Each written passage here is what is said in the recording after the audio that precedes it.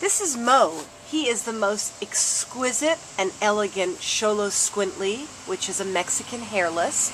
He was rescued from the West Valley Animal Shelter by us, Animal Advocates Alliance, and he's looking for a very good and special home.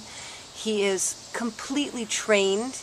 He's completely potty trained, housebroken, and very, very sweet. He's a little bit shy at first, um, but he's just stunning. He's really, really stunning. He's standard size. Uh, he weighs about 32 pounds and he is jet black in coloration and he has the most incredible brown kind of turn to green eyes. Uh, he's just super, super elegant and stunning and this is a very special and rare breed. Uh, he does need some special care.